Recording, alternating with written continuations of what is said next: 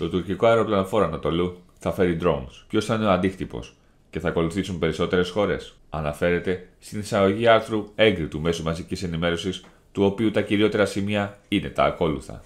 Με βάση εν μέρη την αποτελεσματικότητα των drone Bayraktar σε πρόσφατες συγκρούσεις και τις τουρκικές γεωπολιτικές φιλοδοξίε, είναι σαφές ότι το TCG Ανατολού θα διαδραματίσει ηγετικό ρόλο στην προβολή της τουρκικής ισχύω στην περιοχή. Επειδή η Τουρκία δεν είχε πλέον το F-35 στη διάθεσή της, αποφασίστηκε να μετατραπεί το Ανατολού σε ένα αεροπλανοφόρο που θα έφερε μη επανδρομένα αεροσκάφη.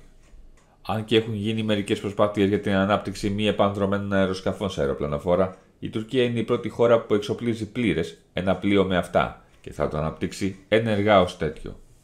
Η Τουρκία θα επιχειρεί από το Ανατολού με δύο διαφορετικούς τύπους drones, τα Bayraktar τα V3 και τα Bayraktar Kizilelma.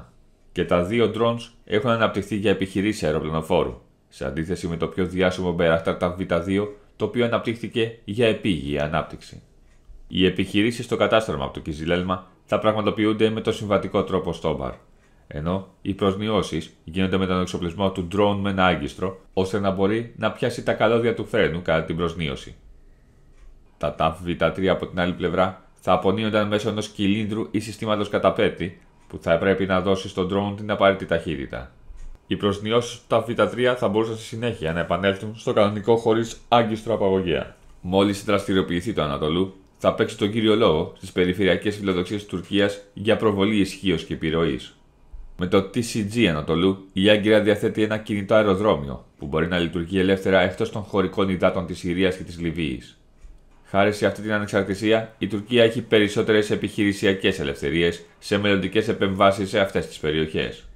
Επιπλέον, το Ανατολού είναι επίσης ένα αμφίβιο αποβατικό πλοίο, το οποίο καθιστά δυνατή την προσνίωση αμφίβιων δυνάμεων, υποστηριζόμενων από drones για την πραγματοποίηση ανεξάρτητων επεμβάσεων και επιχειρήσεων.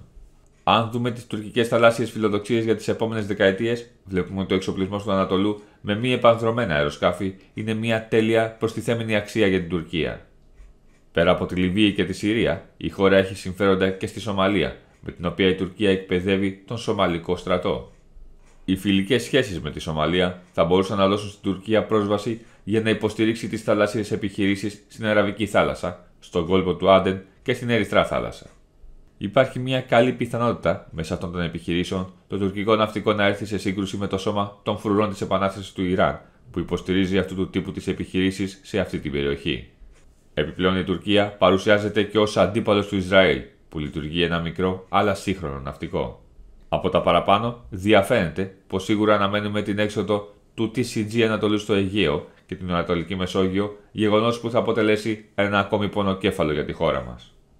Η Ελλάδα, λέμε εδώ και δύο χρόνια τουλάχιστον, ότι θα πρέπει να τρέξει άμεσα αναφορικά με το θέμα της προμήθειας εξοπλισμένων drone, προκειμένου να τα εντάξει τόσο σε στρατηγικό όσο και τακτικό επίπεδο. Επιπλέον το Ανατολού θα απαιτηθεί να επιτηρείται διαρκώς από το πολεμικό ναυτικό μας, σε συνδυασμό με ντρόν μας που θα βρίσκονται στα βύθιστα αεροπλανοφόρα μας, τα νησιά μας στο Αιγαίο.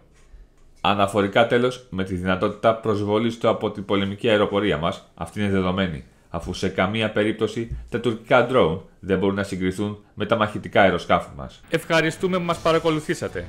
Αν σας άρεσε αυτό το βίντεο, μπορείτε να κάνετε like και εγγραφή στο κανάλι μας για να λαμβάνετε πρώτοι όλες τις νεότερες εξελίξεις. Μην ξεχνάτε να μας κάνετε σχόλια με την άποψή σας, καθώς η γνώμη σας είναι πολύ σημαντική για εμάς.